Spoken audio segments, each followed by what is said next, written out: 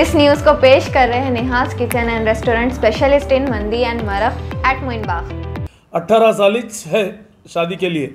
जब bill pass होगा वो होगा फिर प्रेसिडेंट की साइन होंगी पूरा जब होगा तो हम जब बताएँगे क्या करना है और इन ताला अभी दो साल तक तो ऐसे कुछ आसार नहीं है। अपना काम है, बोलना है होशियार करना है होशियार कर दिए अपन।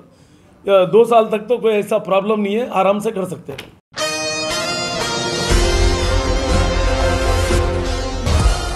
वालेकुम नाजरीन, एशियन टीवी न्यूज़ में आप सभी का इस्तकबाल है। आइए देखते हैं आज की अहम खबर।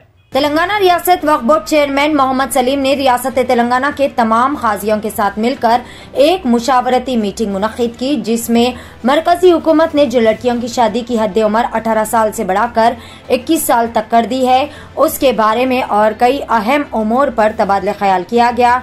इस मीटिंग में तमाम खाजी हजरात ने भी मुकम्मल ताउन देने की यकीन दहानी करवाई। मीडिया कॉन्फ्रेंस से मुखातिब होते हुए मोहम्मद सलीम ने कहा कि मरकजी हुकूमत और रियासती हुकूमत से अपील करे और दोनों ऐवानों में इस बिल की हिमायत बिल्कुल भी न की जाए।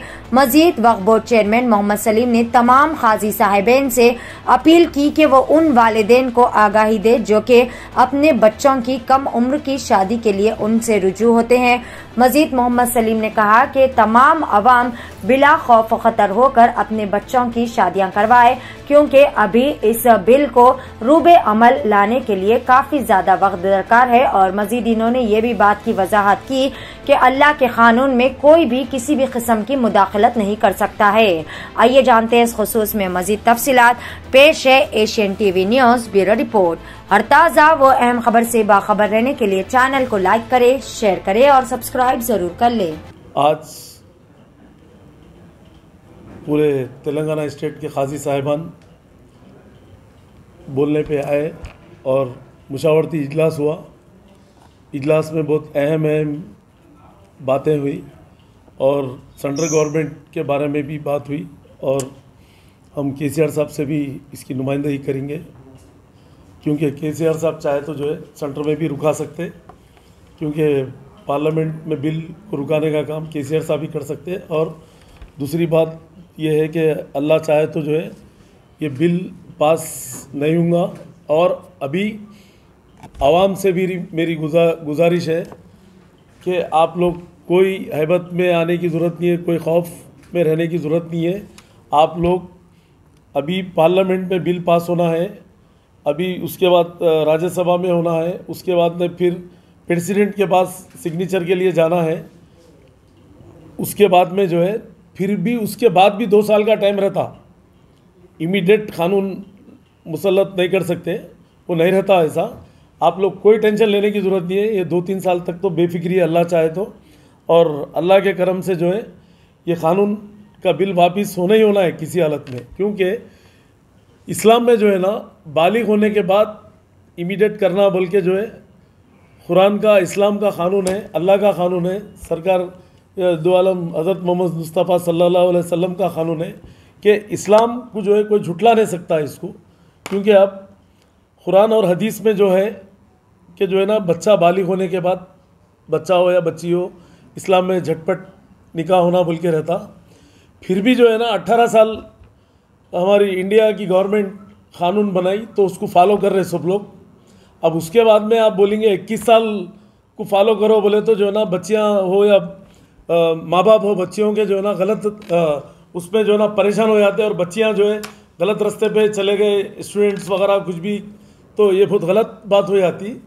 बालिग होने के बाद शादी करना कंपलसरी है और तीन साल और रुका के जो है ना इक्कीस साल में करो बोले तो वो माँ बाप पे बोझा रहता हो, क्योंकि माँ बाप चाहते कि बच्ची जल्द से जल्द निकाह होना फिर अपने अपने घर से जो है ना अपना घर बसा लेना बोल के रहता, अपने ससुराल में रहना मतलब अच्छे से अच्छा बच्ची जो है ना अपना हस्बैंड के साथ ज़िंदगी गुजारना बोल के हर किसी को ये रहता, हर माँ बाप को रहता है। करोड़पति भी रहो, रिक्शे वाले भी रहो, गरीब भी रहो सबकी ख्वाहिश ये रहती कि जो है, बच्ची की शादी जल्दी हो जाना, अपने अपने घरों में, अपने अपने ठिकानों पे रहना बोल के रहता। उनको यही बताया कि आप लोग उज्जलत में नहीं करना बोल के आप लोग काउंसलिंग पाँच मिनट की करिए और जो भी निके के लिए आके इन्फॉर्मेशन एक आठ दस दिन पहले देते खाजी को। ऐसा निकाह खाजी साहब बोल के काट देते तो वहाँ पर भी काउंसलिंग भी करो बोले हम। तलाक कहाँ हो जा रहे, खुला हो जा रहा। उसके ऊपर भी थोड़ा रोको बोल के हम बोल रहे काउंसलिंग करो। दोनों को मिलाने की कोशिश करो।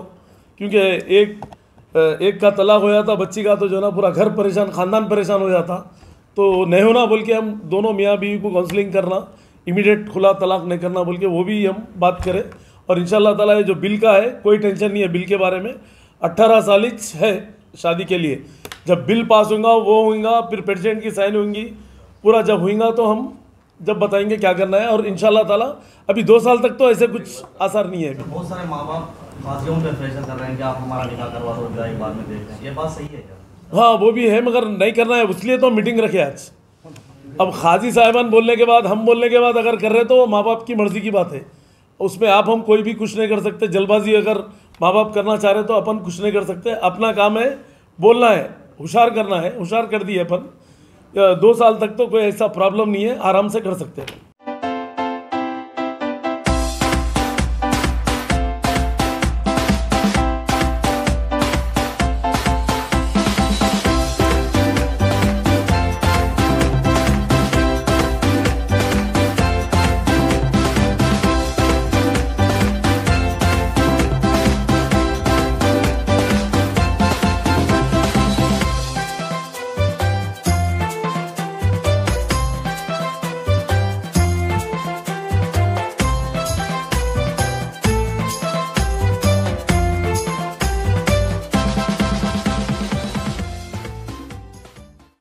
शहर की आवाम बिलखसूस मर्द हजरात के लिए खुशखबरी।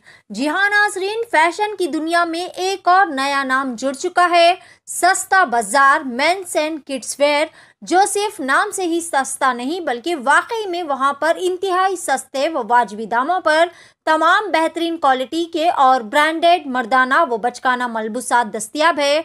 महज बीस रुपए से लेकर हज़ार रुपए की रेंज में आपको बेहतरीन व हमा अकसाम के मलबूसात एक ही छत के नीचे दस्तियाब रहेंगे। यहाँ पर daily wear party wear jeans T shirt shirts tracks raincoats के अलावा दिगर हमा अकसाम के मलबूसात भी इंतहाई वाजबी दामों में दस्तियाब है। सस्ता बाज़ार का पता है Moin Bagh Jamal colony, opposite S K MeeSeva, या फिर आप दिए गए इस नंबर पर भी कॉल करके मजीद तफसीलात हासिल कर सकते हैं। नंबर है eight five double two nine zero three four three zero या फिर six three zero three five one six nine two zero पर भी कॉल कर सकते हैं। तो इसी तरह के लेटेस्ट न्यूज़ एंड अपडेट्स के लिए एशियन टीवी न्यूज़ को फॉलो कीजिए फेसबुक इंस्टाग्राम एंड ट्विटर पर like comment share and subscribe करना ना भूलें।